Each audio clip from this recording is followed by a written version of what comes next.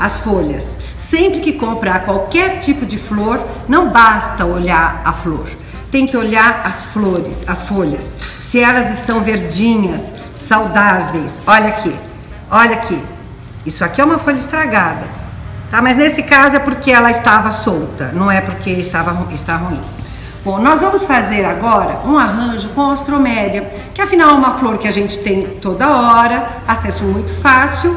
É, e o óbvio seria nós pegarmos essa ostroméria e colocar num vaso. Mas eu vou dar uma dica. Para que você consiga um pouco mais de charme nesse arranjo, você faça uma repetição. Olha aqui. Tá? Você pega três vasos iguais, repetição, três vasos iguais, e aí Olha como nossa ostroméria está fechadinha. Olha que nós vamos ter ela a semana inteira abrindo, depois morrendo.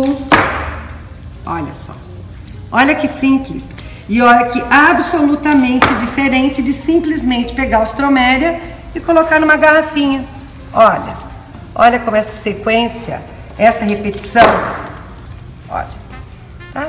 E na hora de colocar aonde você pretende colocar, é simples. Você pode colocar essa sequência, como você pode fazer esta sequência.